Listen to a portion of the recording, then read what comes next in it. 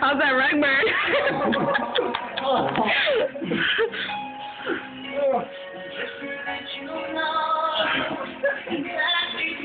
Physical pain, I put myself through.